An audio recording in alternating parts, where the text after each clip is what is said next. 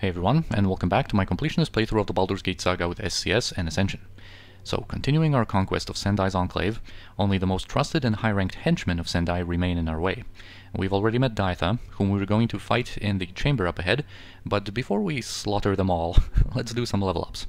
Uh, so first, Senashira is going to become a level 27 mage, which is going to be a great level up for her uh, because of this right here. She's going to receive an additional level 9 memorization slot. Now, Kirinai is going to reach her final level in the game, which is a little sad, but unfortunately this is just how it needs to be.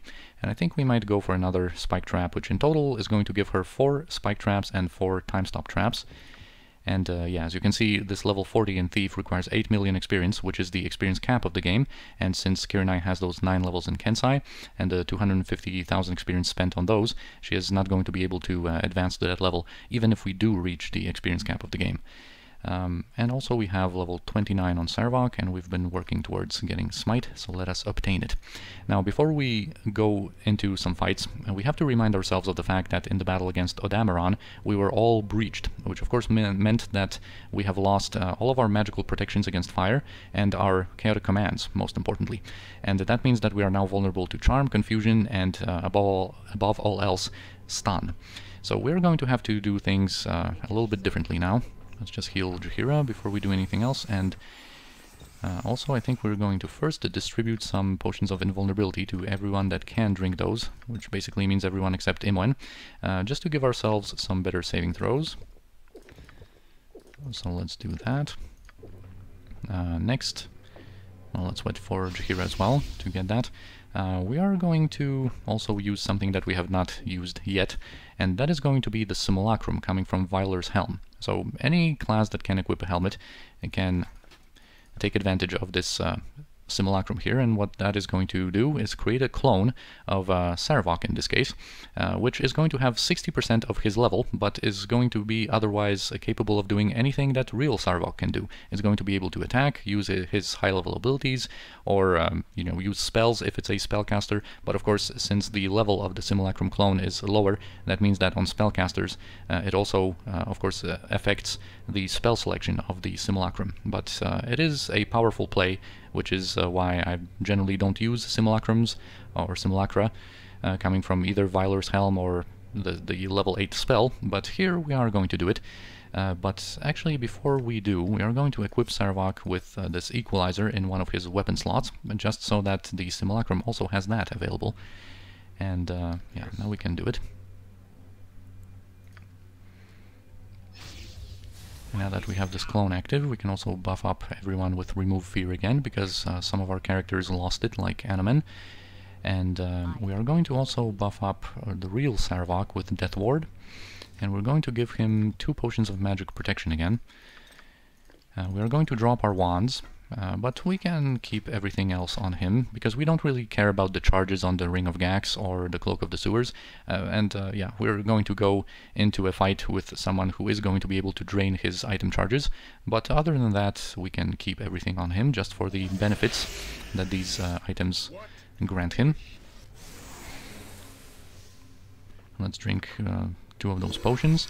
And uh, we're also going to buff Sarevok up with a negative plane protection coming from Jaheira, and we are going to cast Soul's Searing Orb on Anomen.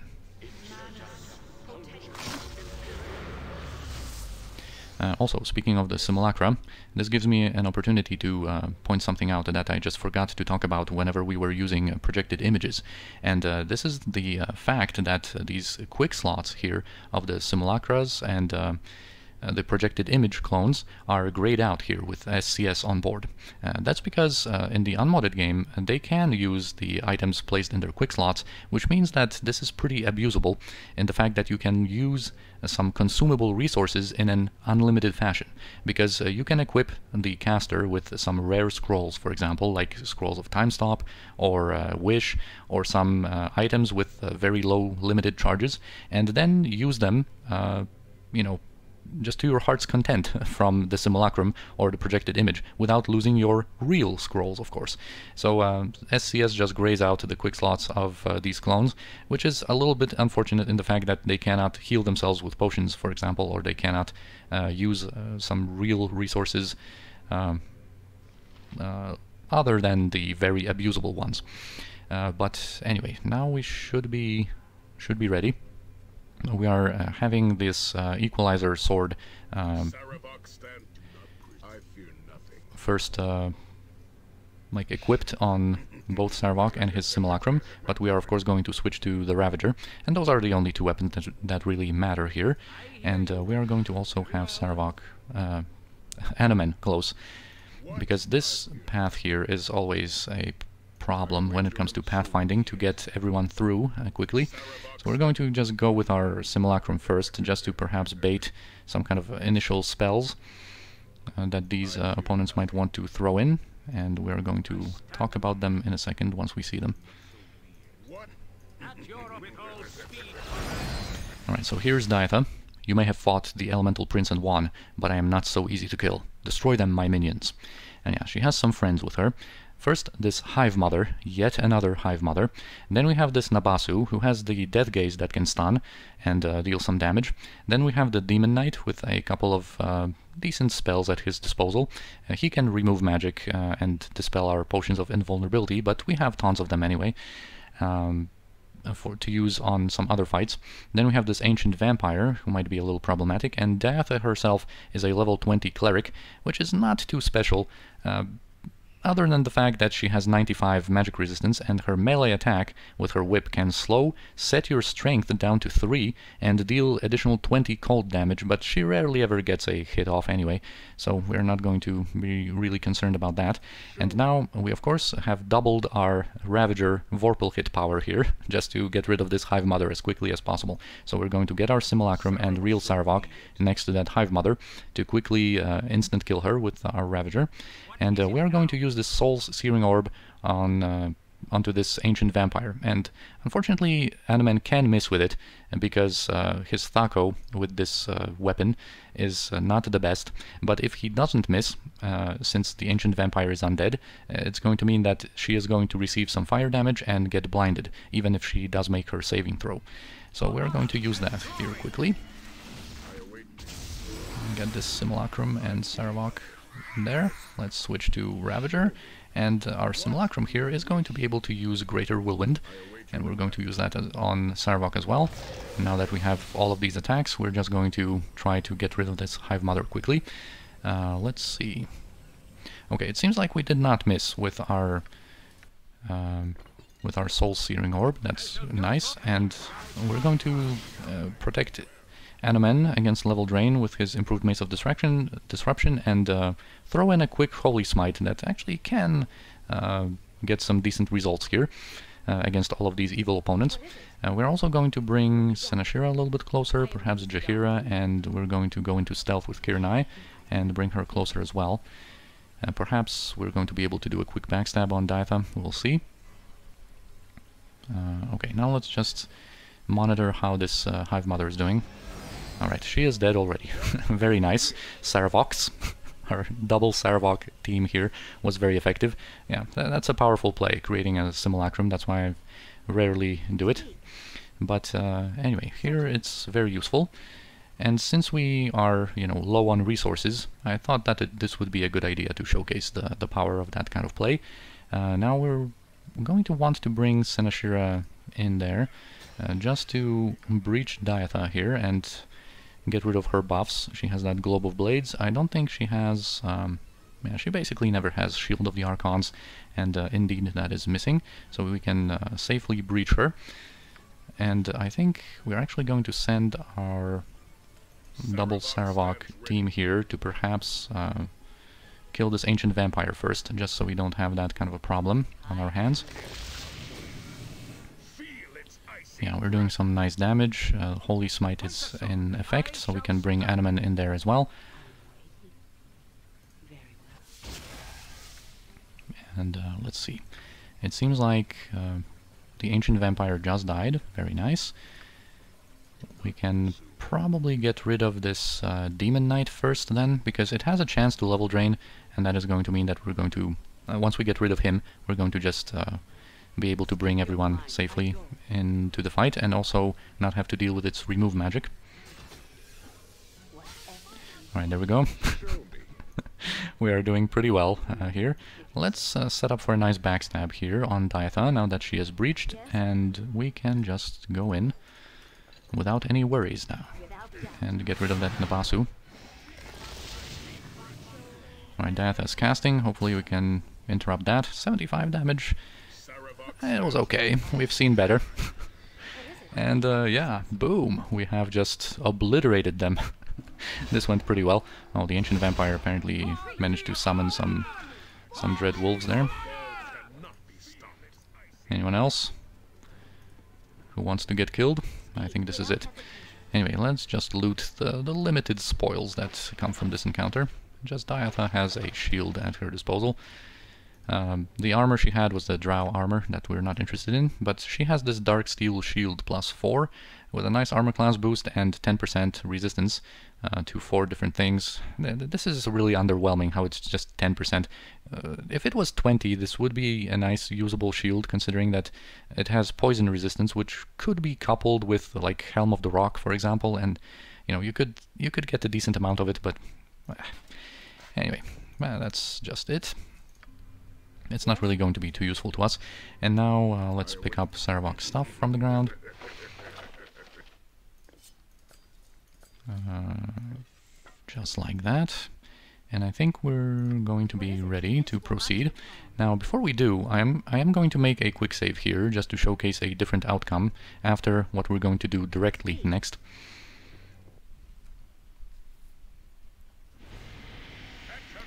Alright, so here we have Captain Egeissag addressing us. So you are the one who has caused so much trouble. I must admit, I am not impressed. Okay, we have two good responses. I think I'm going to go with this one. The Sendai think she can stop me by constantly throwing these pathetic slaves in my way. Your slaughter-filled progress has greatly alarmed my mistress. If I defeat you, my reward will be truly worthwhile. And here we have this spectator beholder that you might recognize from way back in Shadows of Amn. Oh, Captain, my Captain. hey, why do you address me as such, beholder? Why are you so, so poetic? You have a most peculiar attitude. I shall have to report it to the mistress soon. Oh, never mind that. I always wanted to say that. And there you go getting all upset. I just had a comment here before this Bhaalspawn squashes you into so much mush. that may not that may not necessarily happen. Uh, yeah.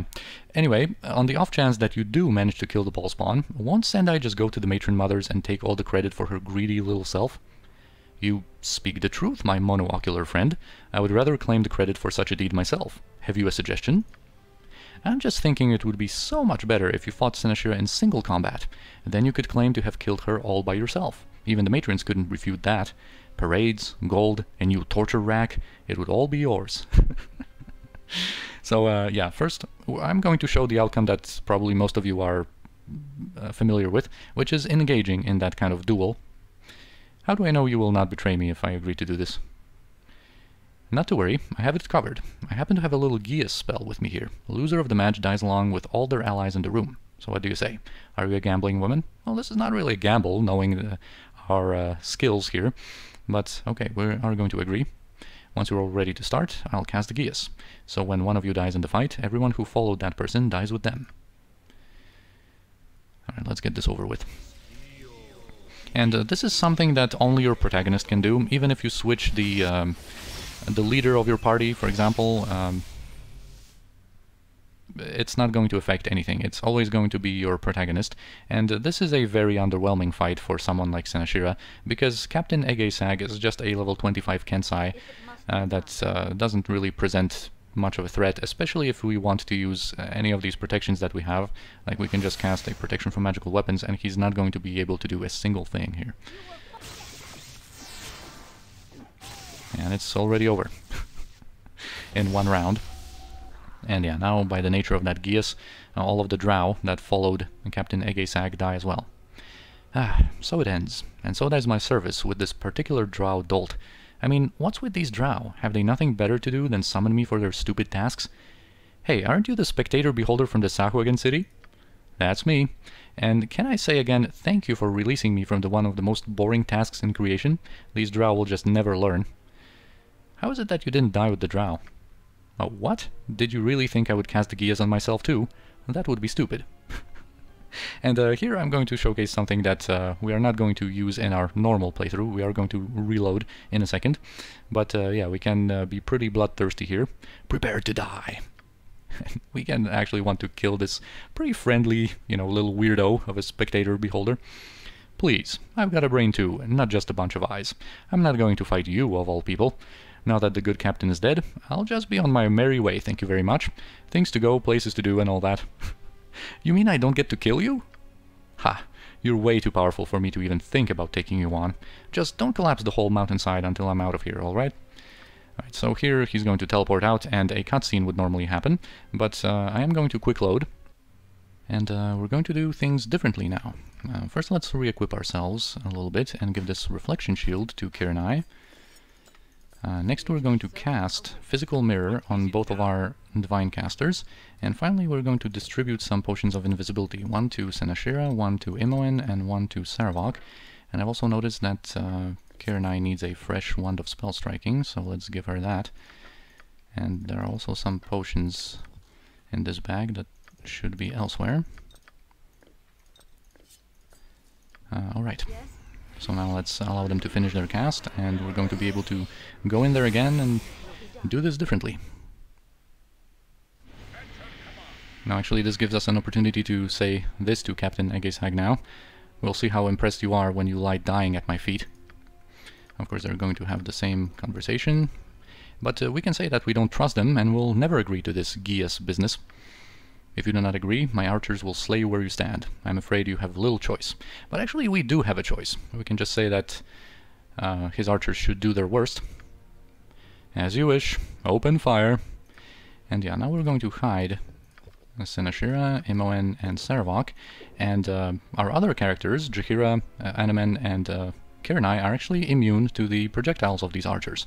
Uh, because, of course, uh, physical mirror and the reflection shield uh, reflects back the projectiles to back to their shooters. So uh, we are going to be able to witness something funny here because they are on this balcony or this might actually be below the arena platform, but uh, in any case we cannot get to them to melee and they can't do anything about their position either. So they can uh, only shoot at us, they have no other choice, but of course uh, we are going to keep reflecting their projectiles back to them and they're essentially going to be able to just kill themselves with their own uh, shots.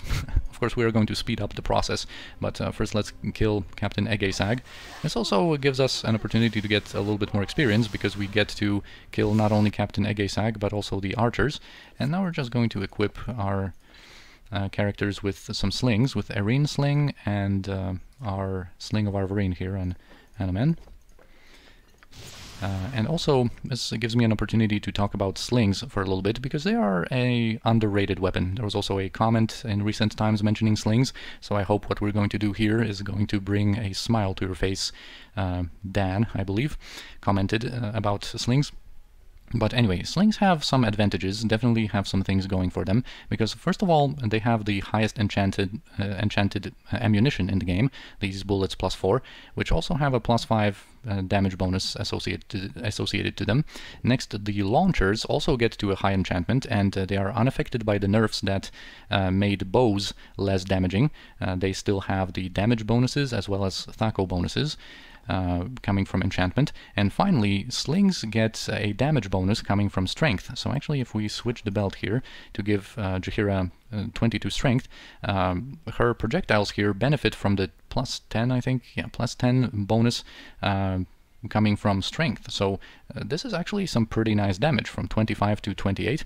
Uh, of course the weakness of slings is that they only have uh, one base attack per round, but uh, if you actually dedicate uh, a character to slings and get Grand Mastery plus these uh, gauntlets, you can actually get four attacks um, normally, which of course means 8 with improved haste, which is a respectable amount. Or, of course, you can use something that we're going to use right now on Jaheira, which is give her 10 attacks uh, this round uh, by using whirlwind attacks that we have recently obtained on her. And uh, that is going to make uh, a little machine gun out of her, being able to shoot these projectiles very quickly. And she's like, boom, boom, boom, boom. is just wild, going crazy with it, this sling.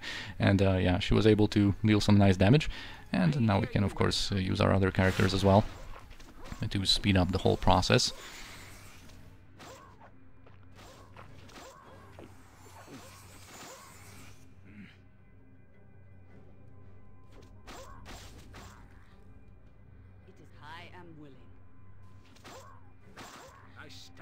Stand the righteous. With vengeance! Take that! Right, and now the spectator is going to show up. We're going to have that conversation. We're going to conduct it a little differently. Yeah, these Drow will never learn, I suppose. What are we going to do now? Oh, you know, find the nearest hive, check out the ladies, the usual. You? Uh, I guess fighting for my life, the usual. Right, don't take it personally, but I've got to go. Nature calls and all that. Just don't collapse the whole roof until after I'm gone, if you'd be so kind. and now we're going to have a final cutscene with Sendai, so let us enjoy that. Diaytha is dead, and the rogue Bhaalspawn draws ever closer. Mithykyl, my Mind Flayer ally, you must stop the fool before this goes further. You draws ever closer. Do not wave your tentacles at me, Mithykyl! I have no other choice! My minions are slaughtered. Even my priestess has been destroyed. She is visibly indignant here. Like, how dare he wave his tentacles at her? Who does he think he is? If you wish to feast on the brains of those that Bhaal enslaves, you will unleash your illithid on the Bhaal child that invades the Enclave. You must not allow the interloper to reach my inner sanctum. I always like the expression to feast on the brains. Uh, but yeah, now we are going to have to soon encounter the last lieutenant of uh, Sendai, I guess, the Mind Flayer Mithykyl and his little army. But first let's loot Captain Egeissag and get ourselves this Bowstring of Gond that I have mentioned in the playthrough a couple of times already. Now we finally uh, get it in our possession. You can also loot these uh, Drow archers with a quick loot, but you're kind of not supposed to loot anything off of them, so we're just going to leave them be. And uh, now let's just re-equip our Divine Casters. We had a little showing of what slings can potentially do. Let's also switch the belt here. Uh, I think Kirinai is going to go into melee, but uh, actually first she's going to get improved haste, and finally Anomen. Uh, Alright, so we are about to have our final encounter with the Illithids. So we have this Scion's Blade prepared. Uh, Sarevok is going to equip that. This is going to make him uh, immune to all psionics. We don't really have to worry about him, uh, even though his uh, Potion of Invulnerability buff was dispelled. That doesn't really matter all that much. We can heal a little bit on everyone. And uh, we're also going to now showcase something else. This Greenstone Amulet, uh, haven't had the, a chance to shine too much so far, so we are going to use it because it is going to protect us from psionics and also a bunch of other different things. This uh, ESP, by the way, it's uh, extra sensory perception, which basically is another word for scrying. This doesn't really mean anything in Baldur's Gate, but uh, just kind of a different thing, uh, just ESP here. Um, it's nowhere in Baldur's Gate explained what that means. But anyway, also uh, we are going to use our improved hastes, uh, so we're going to have this on Jaheira, and we are also going to use our new Amulet of Cheetah Speed, and I guess Anomen is actually going to benefit from improved haste uh, this time. Now, before we do that, I just need to think for just a little moment about the the whole sequence of buffs that we want to do. I think we might also buff uh, Senashira with protection from energy, uh, so that in combination with her innate 20 fire resistance, she's going to be at 95 if we want to use any fire spells, although we're probably not going to have too much time to use firestorms. But just in case, we also, of course, are still using the Club of Detonation. I guess we can do that. And also buff up uh, Kirinai give her some fire resistance as well.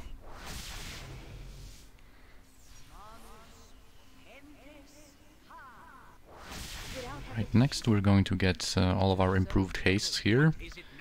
We're not going to hold back against these Illithid. And now we're going to use this Greenstone Amulet uh, to dispense those uh, this psionic protection. Uh, basically, uh, we have very nice saving throws as well, like especially against spell. Uh, well, Senashira is a bit of an exception perhaps, with uh, minus 6, minus 7 on on uh, Jaheira, of course because of the Harper pin, but uh, Anomen has like minus 1, Kiranai has minus 5. Uh, basically, uh, some uh, psionic abilities do give you an ability to save against them, like the psionic blast, the main one, we want to be protected against. Um, in most cases, it does give you a save versus spell. Uh, the Ulitharids have a more powerful version of it that actually gives you a save versus spell at a minus 4 penalty, but there are also some psionic blast abilities that don't give you a saving throw, and uh, some other psionic abilities as well. So we are going to just pass uh, this amulet around and like use this on Imoen, for example, just so she can have a bit of a protection coming from that. And I think uh, we're at least going to give this to Kiranai and allow her to partake in that kind of buffing session here because of course she has uh, Methild's harp. If someone gets affected by that psionic blast and gets stunned, she is going to be able to get them free out of that. And we're also going to use it on Senashira because of course she is our main character. She needs to be protected as much as possible. And I think this is going to be it.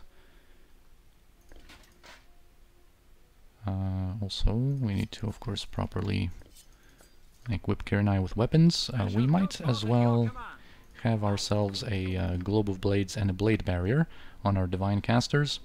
And I think we're also going to have this true sight coming from Kiranai's hood active in the, the whole sequence. And basically, this one is going to be very much improved by SCS. Um, yeah, I think that's going to be it. I think we are prepared.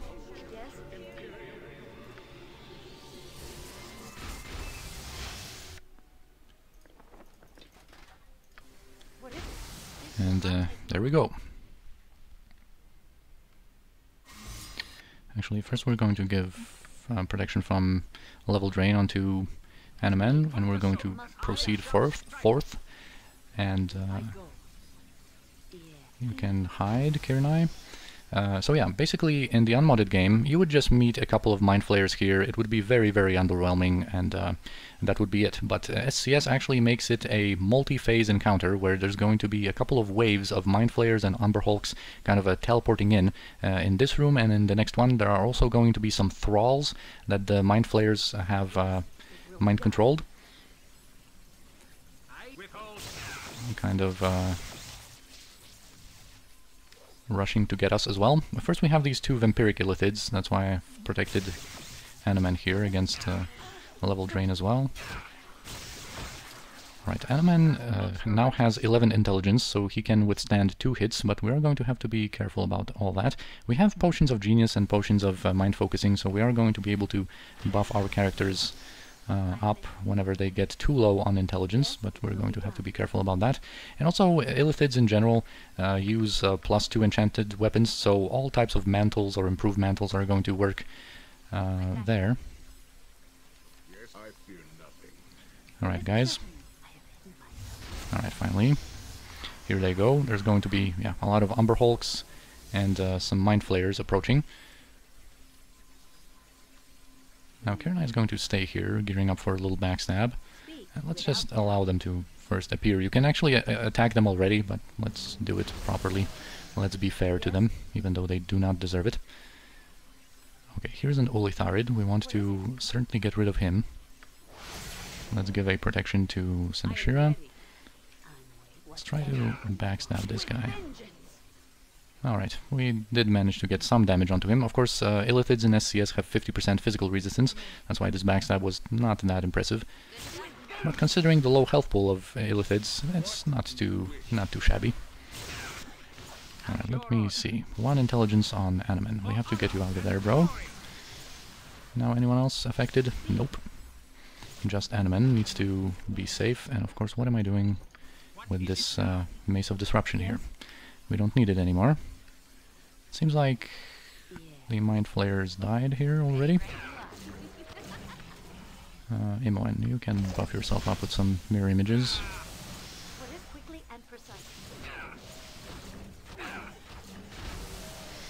Alright, so the first wave is done. We already hear a teleport sound uh, in the second room.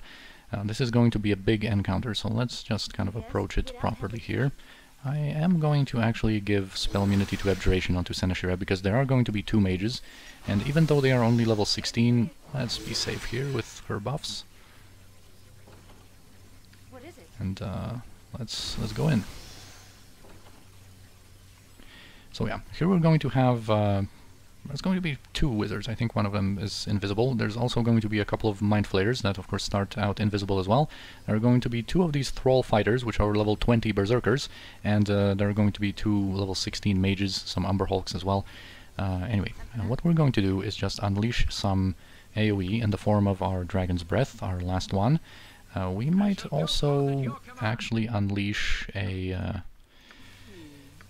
a cloud kill here uh, in the middle of all on this chamber. It's going to nicely uh, reach everyone, and it's it is going to be able to instantly kill the Umber Hulks and just uh, provide some um, more damage onto the fighters and uh, a an interruption mechanic for the casters.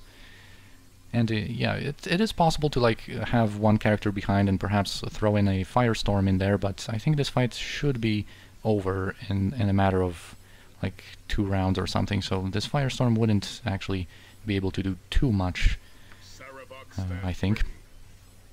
Anyway, we are going to have to just get in there. Yeah, wait for everybody to show up. Here's Mithykyl. Unfortunately, there's nothing really that special about him.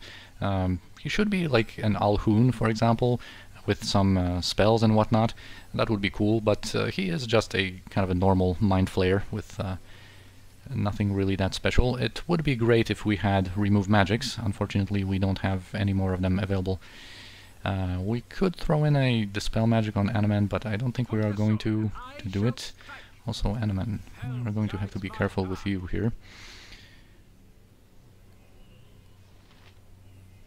Yeah, once he regains like 5 intelligence, we Buffing his intelligence is going to be a little bit more problematic because he would require actually two potions to make a difference, whereas uh, on Jaheira, for example, we only need to chug one potion of uh, mind focusing, for example, to uh, make her withstand one more hit.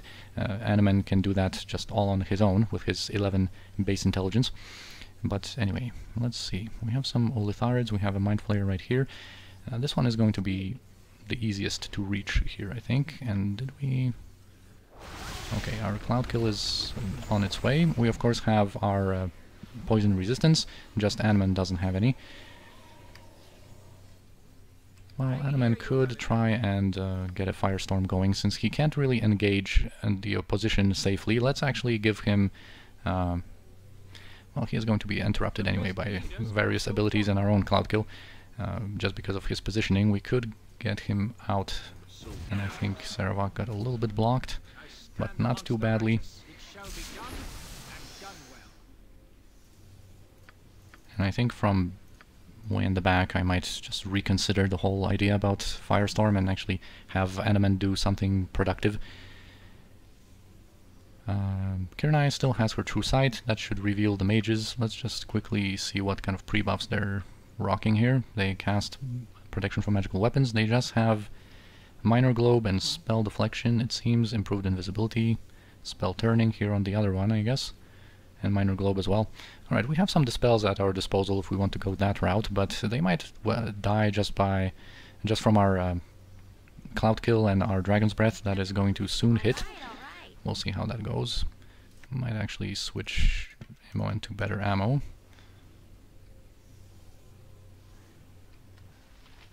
Let's just kind of focus our attacks here. This one Mind Flayer died. Yes? Let's have our other people attack this one then. Alright, our Dragon's Breath did some nice work here. Nice. Actually, one of these wither wizards died. Mithykyl received some nice damage. I think uh, the other wizard, though, is still on the loose. Yeah, right there. We're going to have to deal with her soon and uh, their illusions I think were dispelled. Okay, so we might quickly throw in a uh, spell sequencer with our two secret words and a uh, spell thrust onto her, just to make her available to be breached soon. Alright, that's on its way. Let's go back to attacking. All of that is done. Let's pull back Imoen, you don't need to be there. Let's heal Jaheira. Okay, you would need you would need a potion. Unfortunately, you just drank one.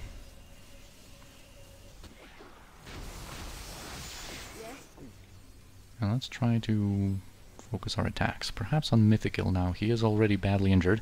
He received some nice damage. Let's go back to some more slinging, I guess. On Jaheira. Next round she is going to be able to drink a potion of mind focusing. Perhaps I should have pre-buffed her with one, but doesn't really matter. I think we are we are safe now. Uh, there's one more Mind Flayer here. Anomen already uh, regenerated, I guess, uh, his 5 intelligence. I think now we're also going to breach that mage, since we have a spare moment here with uh, with Kirinai, and we are going to actually go into melee with Jaheira. Jaheira can take care of that mage once that breach hits. Alright, there we go. here we have just a Thrall Berserker. Yeah, that's... That Firestorm is kind of late. that, that was just not... Not played too well. It was kind of like a reactionary uh, Firestorm instead of being cast uh, as early as we could, but no matter. This was pretty smooth. Yeah, way more interesting fight than in the unmodded game, but still, you know, not not an epic, uh, like a super epic fight. But uh, anyway, now we are done with it. And uh, we are just going to make some space here on, on Senashira just to loot some stuff.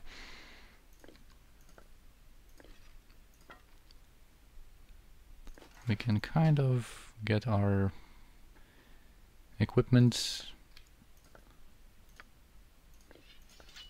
back online. We're not going to need Scion's Blade. Right, I think this is going to be it. Uh, first we're going to loot this container for this liquid mercury. And this is finally the ingredient needed to upgrade Angurvadal. This is going to be a nice and important upgrade. I also have some ammo to throw out or sell.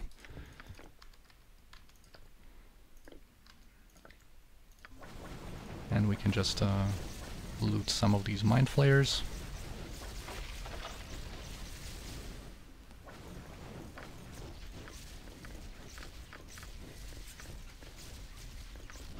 These Thrall Berserkers have some nice potions.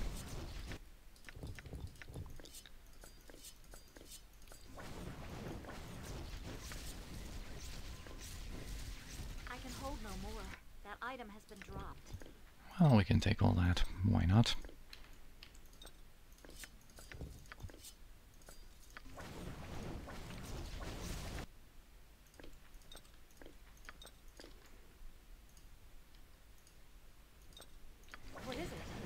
Okay, and I uh, still in this episode, uh, since we are effectively done with the whole place, uh, I am going to do a quick crafting session, but not to waste too much time on the recording. I'm just going to prepare it uh, off camera, I guess, and uh, see you in a moment. Alright, there we go. Now we're ready to return to our pocket plane and engage in a crafting session with Cespenar. And for the first time, this is actually going to involve some decisions on our part when it comes to crafting, because uh, some of these upgrade ingredients that we've managed to obtain recently are used to upgrade more than one item, but of course are spent in the process of crafting. So here we are going to have to choose which one of these items we want to upgrade. And here, of course, we have lost our Drow chain and our Drow balls of sleep, because the pocket plane is considered a surface location, but we have already gotten all of the benefit we wanted out of the armor. So all we need to do is just drop these three things, I think, and we should be ready uh, to discuss those upgrades with our butler. But um, before that, I just wanted to show you the description of the un-upgraded Angurvadal first, and it mentions that it's a legendary burning blade of Frithiof. And this name Frithiof, as you will see, they are not going to be too consistent with. But anyway, now let's talk to Cespenar. Cespenar gladly serve the Great One. Ooh! Ooh! Is nice sword, maybe? So first with the Heart of the Damned, we are going to be uh, able to upgrade the Short Sword of Mask. And it's also used to upgrade Gram, the Sword of Grief, a weapon that we have not obtained yet. Uh, basically, both of these upgrades are irrelevant to us. Uh, the Sword of Mask gets a little bit more out of it, and uh, I am going to upgrade it here, and once we get Gram, I'm just going to show you on the screenshot what uh, its upgrade entails. It's very, very minor. But uh, anyway, now for more important upgrades. Sword that burns? Hmm. Have cream for that. Right, finally Angurvadal, now that we have the liquid mercury and some gold, we're going to be able to put all of this together and get a very nice upgrade for this weapon. It's going to influence a lot for us. Or could be mess and joy. Cespenar. Ooh! You has holy sword, does you? Hell is in place for you, maybe, eh? And now he's talking about the Purifier, which is one of the items that can be upgraded with the Eye of Tyr, the other being Carsomyr. And I think it's going to make a little bit more sense for us to upgrade Carsomyr, actually. Normally, I am a pretty big supporter of upgrading the Purifier, because it gets way more out of the upgrade than Carsomyr does. However, in our party composition and our kind of gear setup on Kirnai, I don't really see myself ever using the Purifier in her offhand. Um, basically, if you have a fighter thief um, with some um, proficiency points in Bastard Swords, this is a nice option to use together with Foebane sometimes, or if you are in a more uh, evil party, I guess, and have obtained the Flesh Armor, this is going to allow you to uh, stack magic resistance on uh, a thief with use any item to higher amounts. Uh, or actually, if you have a two-handed based fighter thief and that normally focuses on two-handed swords and quarterstaves, it actually still makes a lot of sense to upgrade the Purifier, because then you don't really need that small upgrade that Carsomyr receives all that much. But uh, here, I think in our situation, uh, we are going to upgrade Carsomyr, so we're going to pass on this one. I keep looking through undies then. Ooh. Holy Avenger sword, huh? Nice. Alright, so Carsomyr it is. Let's upgrade this one. Okay. Stand back then. Never use this recipe before. Could And we're going to discuss a little bit more about these upgrades once we have the uh, upgraded Carsomyr in our hand and uh, kind of see all of the descriptions of our weapons. But uh, for now, let's just continue crafting. great. Ooh. Ooh. Forging is such nice work. Marvelous. Just marvelous. Alright, so Spectral Brand is going to be uh, upgradable with the addition of the Skull of the Lich. So let's do that. It is going to receive a, a bit of an upgrade. Uh, Some of these properties from these upgrades, as you will see, come a little bit late, unfortunately, but uh, it is still going to end up as one of the best weapons in the game. Yeah. Ooh. Hmm. What's this? You got the hammer? Bao once dropped hammer on big godly toe. Jump around and swear for days he did. Kicked poor me all the way to Baator. Very bad week, that. Anyway, uh, he's talking about the upgrade to the Rune Hammer now that we have the Rune of Clangeddin, or Clangeddin. We're going to be able to upgrade that. And, um, yeah, not, not a massive upgrade either, as you will see, but still it's something. That's Cespenar. Ooh. Huh? String? Ooh. Good string it is. Like string when you tie shoelaces together, but better. Yeah, here this is pretty unique. You actually get a choice, uh, a direct choice here, whether to upgrade the Dark Fire Bow or Taralash with it. But of course we're going to upgrade neither because we want to upgrade Fire Tooth with it, which he is going to mention now. This could take all day. Hmm. Maybe could use that string again. Not thinks of this one.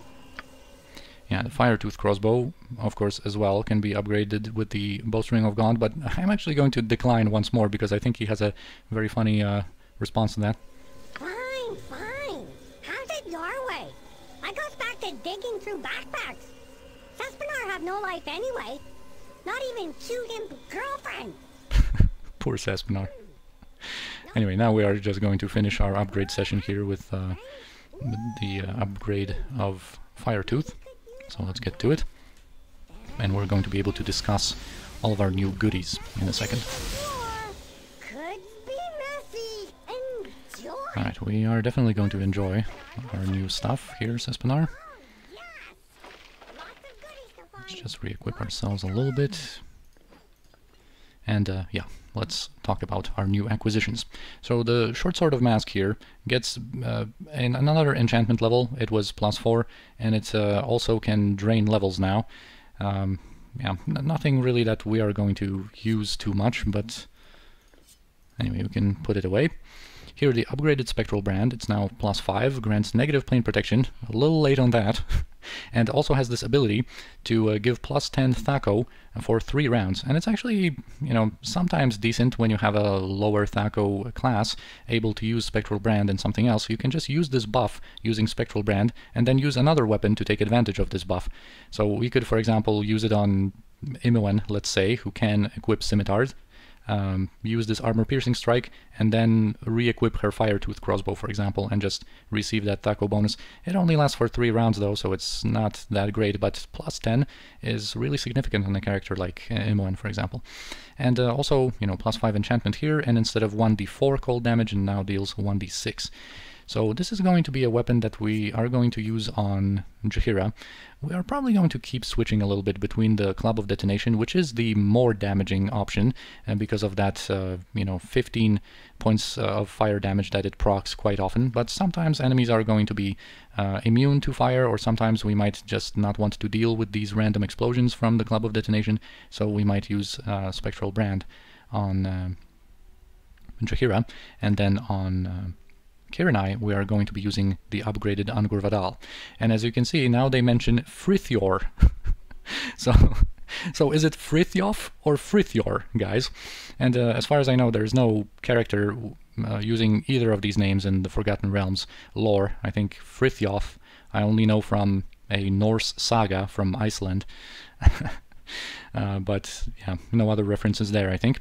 But anyway, great weapon. Now instead of just plus 1 fire damage, it deals from 2 to 5. Of course, plus 5 enchantment. It sets your strength permanently to 22, instead of just having that uh, one use uh, of it, and also immunity to level drain. Would have been nice earlier, but this is going to be great for uh, Kirinai. Now she is going to be able to pass this 22 strength belt onto Jaheira.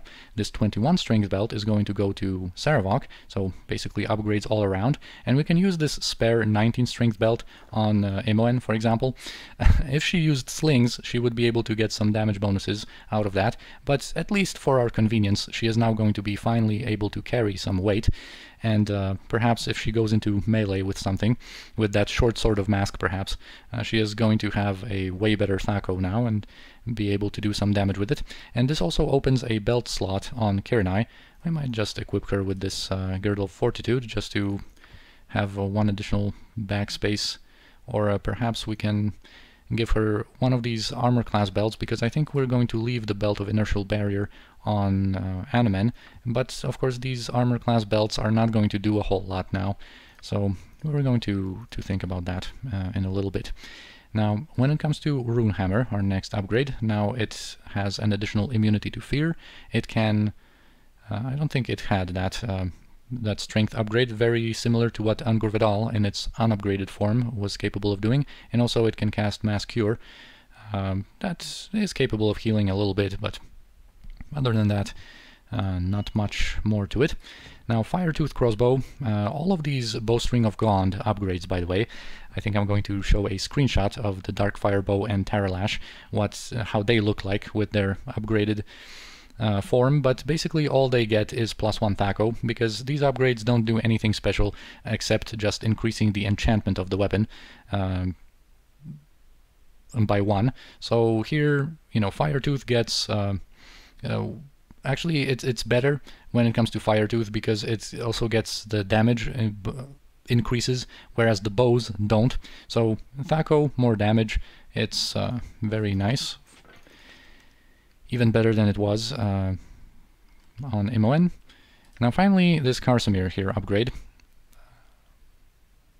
uh, basically all it does is just increase Carsomyr's enchantment by one. So uh, one, plus one to THAC0, plus one to damage, and a little bit more damage to uh, chaotic evil opponents. Nothing else is increased here. And I think it makes a little bit more sense in our case because whenever um, uses Carsomyr, uh, she doesn't actually have that great of a THAC0 with it, and sometimes we do resort to it for its dispelling capabilities, so in order for her to have a bit of an easier time to land some hits, we are going to, uh, you know, we have upgraded Carsomyr because of that. Um, But when it comes to the Purifier, it actually gets its magic resistance upgraded to plus 30%, and um, it also is then capable of casting a level 20 Dispel Magic, just like Carsomyr can, and it also can cast Mass Cure, uh, which is pretty irrelevant. But uh, yeah, whenever you're going for a kind of a different setup, uh, that 30 magic resistance and that additional cast of Dispel Magic, um, also with uh, combined with the uh, enchantment upgrade to plus 5, you know, it, it makes a lot of sense for the Purifier to get upgraded, but not really for us so much. And uh, also one more thing that I would like to discuss when it comes to Angurvadal. Of course, sometimes Kira-Nai uses other other weapons like the Answerer or uh, her throwing dagger, which then of course is going to make her lose her 22 strength. But she has a very good base strength with 18 and exceptional 100, and uh, basically from from those she receives uh, 3 to hit and 6 to damage, whereas for 22 strength, if she you know, kept uh, using that belt, for example, it's 4 and 10. So not much of a difference when it comes to THAC0, a little bit more damage, but whenever we switch to a weapon like uh, the Answerer, for example, uh, this is more of a utility weapon with which we want to, of course, stack the debuffs, not so much deal as much damage as possible. Uh, when we want to uh, deal a lot of damage, we are going to switch to Angurvadal. So I think this type of uh, gears composition that we are going to be using from now on is going to make a lot of sense for us.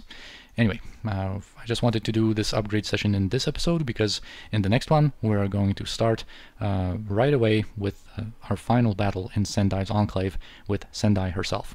So anyway, for now I thank you for watching, I hope you enjoyed the episode, and I'll see you next time.